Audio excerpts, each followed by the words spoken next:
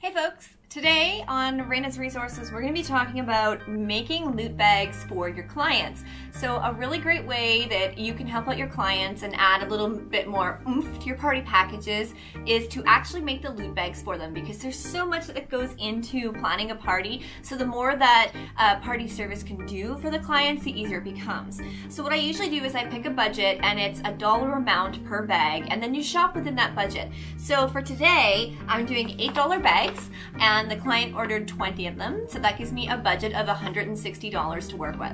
And as a business, I and you, if you are also a business, a registered business, can actually get bulk order discounts. And what that means is that I can get items for the client cheaper than if they were trying to do it themselves. So if they went into the store and they wanted to buy one item, it might be five bucks. But where I'm a business, if I get it bulk order, all of a sudden I'm getting each individual piece for 250 because I've committed to ordering 20 of them. So you're passing that savings on to the client. You can mark it up slightly if you want to make money off it. For this particular client, this is one of my return clients and she booked a really expensive package. So I'm not making any money off of the um, bags. I charged my $8 bag fee. So I've spent my $160 budget. And to me, that's just, I'm throwing in this extra perk for her because she's a return client. She's amazing. It's another great way that you can reward reward return clients, right? But you can mark it up slightly or just spend within your budget so that you make a bit of chunk of money on it for your time and effort that you spend, or just price each bag so that you are making what you're worth for your time and the resources that you're putting into making it. So I use different party websites where you can buy from, where if you're a company, you get bulk order discounts. Amazon, AliExpress, Wish is also great. You just have to take into account shipping times and make sure that you're gonna get everything and that you're factoring in all your costs. And then of course, there's places like Party City. I've ordered some things online and I went to Party City. So now you're gonna see a clip of Sean and I shopping at Party City, picking out all sorts of goodies for our clients that we're really excited about. Bye.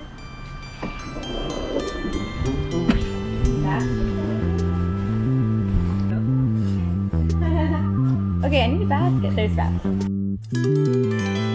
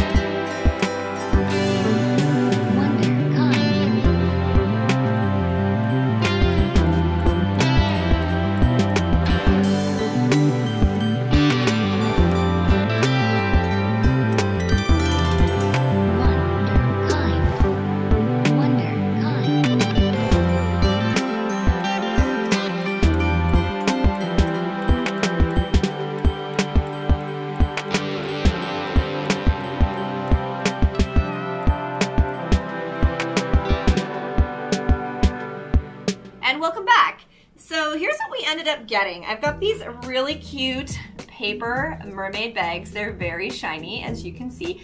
I like to go with it because they're recyclable. If I don't use paper bags, I'll often buy actual toy buckets and put all the items in that. Or once I think I bought fish bowls. It does eat up a little bit of your budget if you're gonna go for something more elaborate, but this is great. And the first tip that I'm gonna teach you is that you should put your business card or some sort of marketing in this bag because these bags are going home to 20 children, 20 families. Those are 20 potential new clients. So what I like to do are postcards. Kids love to collect postcards. So do parents. This is not like a business card. It's big, it's beautiful, it's this great picture. There's different ones. If you come to different parties or different public events, you can collect them. I make them through Vistaprint. They're really cheap and Vistaprint has discount codes all the time. This is one of my my team. And then on the back, I have our information, our social media, and I've got our website and our logo. So one of these is going inside every single one of these. So you're gonna pop that in there. It's gonna just barely fit. Next, I went online and I found snap bracelets. Do you remember these from when you were a kid? They're so amazing. Look at this. I love it so much. So it's got sequins and they're the reversible ones. So right there, that's like a fidget spinner. Kids are gonna have so much fun. And they just go. So great. Look, I'm wearing one of each. So I'm gonna, this one has cat hair on it, so I'm not gonna give it to the client. I had it out as a demo. So I'm gonna pop that in there. Next, Shawnee found these bulk Little Mermaid squeezy toys. Kids are obsessed with squishy toys right now. I don't know why, it's like the thing right now. So this is just a squish, it's a mermaid squish. I think you can actually put water in her. Where does she squirt it? What does it squirt out of? Oh, it squirts out, squirts out of her flower. I thought she might spit it or something or it might make her pee, but anyway, kids are loving squishy toys these days, so I've got one of those.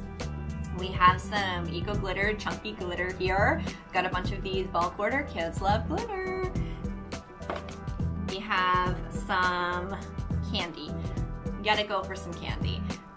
We've got some lovely coins, chocolate coins. They're lots of fun. Most kids are fine with chocolate. I like rockets, or these ones are called sweethearts. I find they're good for kids too because they unwrap and there's a few candies in there. Put those in there. I've always liked these suckers. I just find that a lot of these candies I've chosen too are like low on the scale of allergies. So it's like kids are less likely to be allergic to them. And it wouldn't be a party without some Pixy Stix, am I right? I used to love getting these at parties, so each kid getting two Pixy Stix. We have a set of Little Mermaid crayons.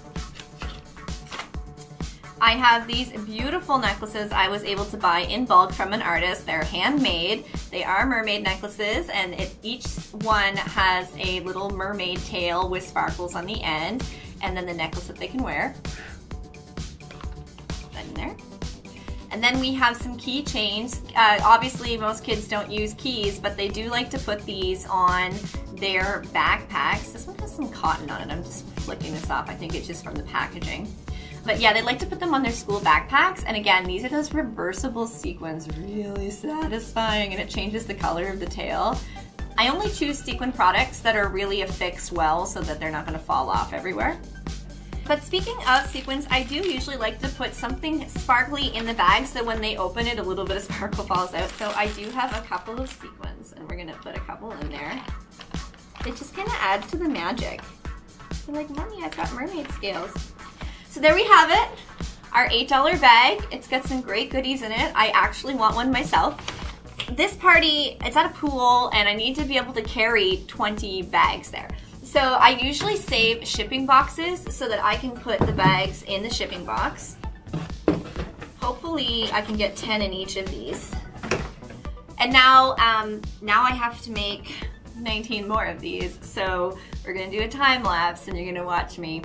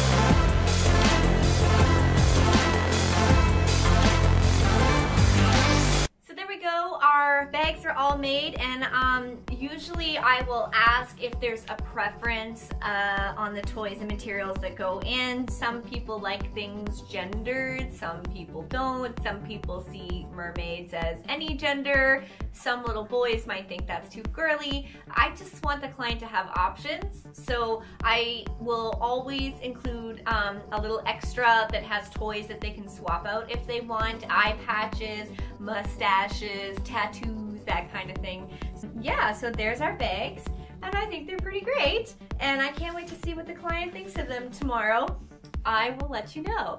Thanks for checking out my video. If you like my resources, please check me out on patreon.com slash Mermaid. For as little as $2 a month, you can get awesome resources, tips and tricks like this. You can get early access to all kinds of content. You can get exclusive merchandise. And honestly, it just really helps us pay the bills and do things please check me out on social media as well. Click the bell to like and subscribe. Leave me a comment. What kind of fun things do you do for mermaid parties? Best wishes!